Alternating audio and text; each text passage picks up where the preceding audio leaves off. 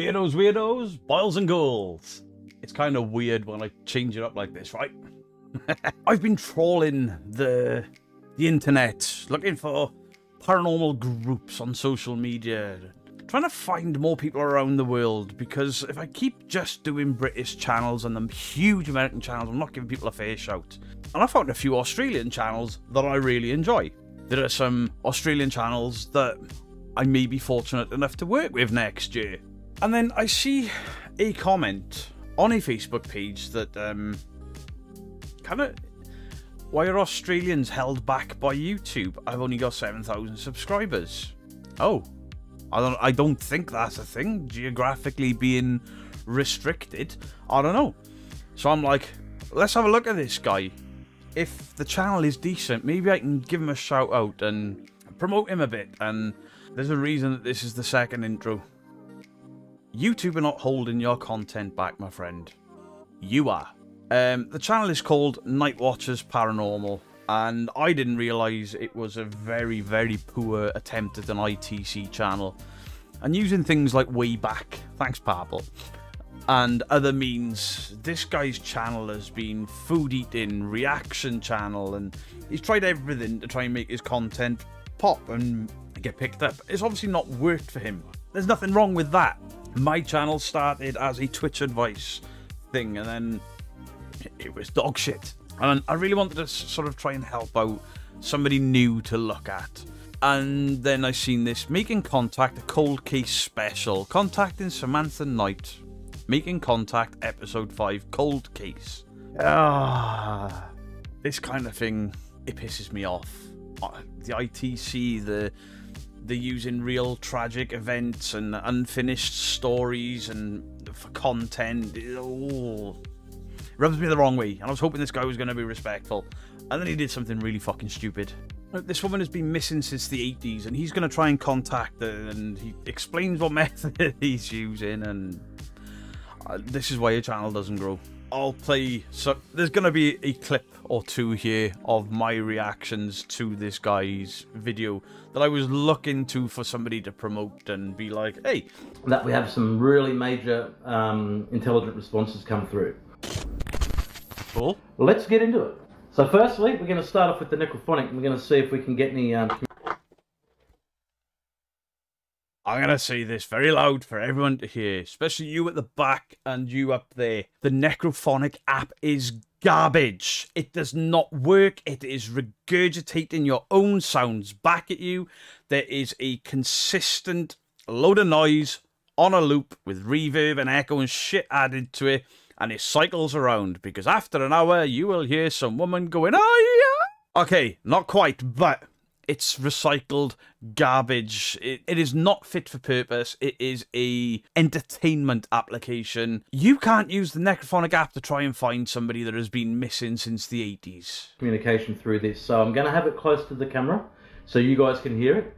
Okay, firstly what I'm going to do is I'm going to try and connect with Samantha and then we'll see how we go from there. But what we're going to try and listen for is I'm going to ask for her, so I want to ask her if she's here. So we're going to listen for a yes, right? And I'm going to ask her for, to say her name, her first name or her last. Not the cat ball! It's a demon! They've already made contact.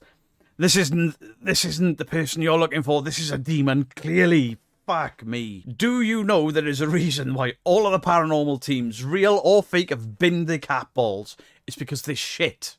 There is a little piece of foil that will randomly touch a connector, and boom. You can go somewhere not haunted on a concrete floor, lay one of those things down, and it will go off for no reason with nobody near it. Not a ghost. Cheap Chinese cat's toys. They were never designed for ghost hunting. If it flew off the desk, I could imagine it. Why the sonic boom? Because a piece of shit toy has flashed. Last name, or both if she can. Oh, cat ball's going off. Cat. I'm just going to reset it. I always reset the ball to make sure it's not a problem with that. If anybody's here with me, cat ball's going off again. Is that somebody here? Magical! The cat ball is going off again, ladies and gentlemen. Call NASA, call the FBI, call Nobel, call them all. This guy's cracked it. How to talk to the dead. fucking cat ball. Now, I understand why people were initially using the cat balls as just an extra piece of evidence, but we all quickly figured out that they were shit. Here touching the. Is that somebody here touching that ball? Yeah, straight up. Okay, can you please. Yep, straight up. Yeah, he's written Ken on the screen. Yep, straight up. Ken. He wrote Ken on the stream. Walk away from it. Step back. I just don't want it touched at the moment, if you can help it. Just so I can. No, keeps touching it. I'm going to reset that ball again. here, guys. No, stopped again. I'm looking for my spirit guides. If you are there, if you are there to my spirit guides, I just want I want you to come forward. I need to ask for you to I need to ask you to pull a name forward for me, a person forward. I'm gonna reset this ball. I need just to pull I need just to Bin pull the forward fucking somebody ball. for me. I'm looking for a young girl by the name of Samantha Knight. I need to find out some questions. I want answers. I want to know where her body is. If she can come forward, I'm asking Andrew, any of my attachments, my spirit guides, I need just to help pull forward this young lady. Did you get these attachments while you were scoffing food? Or did you get these attachments from reviewing paranormal videos? You see, while I said that there's nothing wrong with changing up your content because things are not working, how did you suddenly get the ability to have spirit guides and read tarot cards and the like? There's a guy in the UK that's doing this that PSI have gone after, and he's a bit of a scammer. I hope you're not a scammer. I hope you're just a little bit naive and for some reason think that app is real. Samantha Knight. She was from Bondi in New South Wales, Australia. Can you please bring her forward?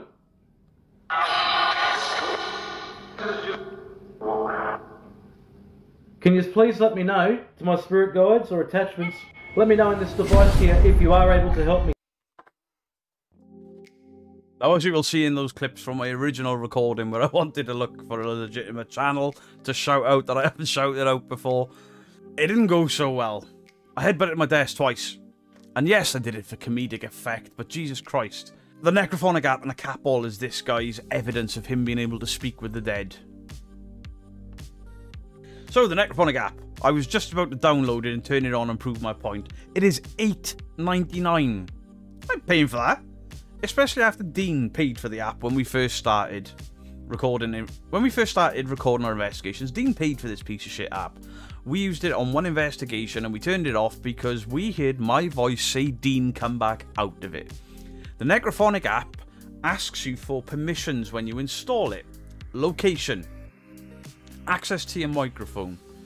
Access to your photos and videos. That's quite dangerous. How much information do you have in your photo album? In your videos? How much can they data mine out of that to give you responses? Well, I don't think they do it for that. But what back end parties are involved in this that could use your information and photographs?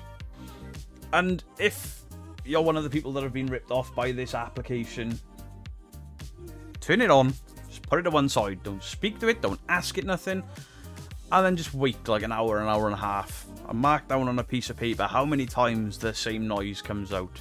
Not a similar noise, the exact same noise. So, Dan Rickard making contact. Um, Night Watchers Paranormal. YouTube not holding your content back because you're Australian. What a silly thing to say. What a horrible thing to say, in fact. And I'm I don't want to be blunt, but maybe you will see this and maybe you will learn from this. Using tragedies and all the rest of it, and then these god awful apps to try and make a buck is wrong. I don't like it. I don't know any of the debunkers that like it. So maybe knock that shit on the head.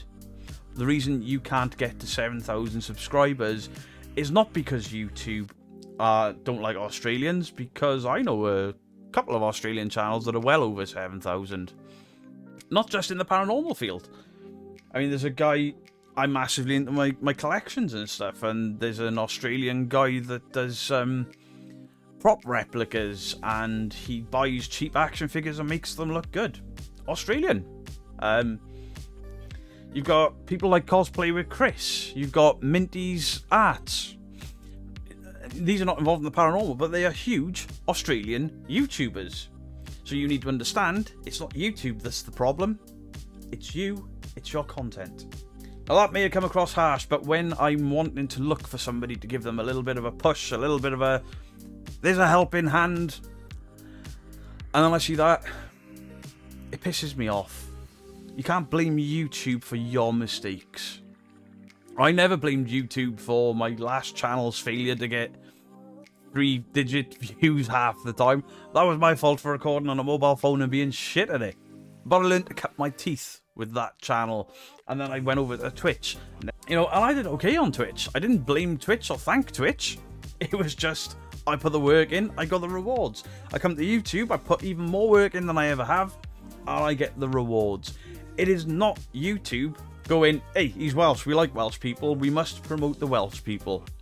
Because for every channel like me from Wales, there are channels 10 times bigger. And there are channels that are a lot smaller. There's a pranking channel from Wales that are massive. There are Australian channels that are massive. Don't blame the algorithm. Look at your content. And while this may sound like I am being mean to you, I'm not. I am just trying to steer you in a direction of less bullshit, more hard work. Anyway, I know this video has been a lot harsher than usual, but when somebody blames a platform for their own misgivings, I take a bit of issue with that. Much love to you all. Let me know your thoughts on the comment section down below. Like the video, subscribe, and all that shit that I always forget to do. I've started to do it a little bit more often, and I still squirm when I do it. Beardo, out.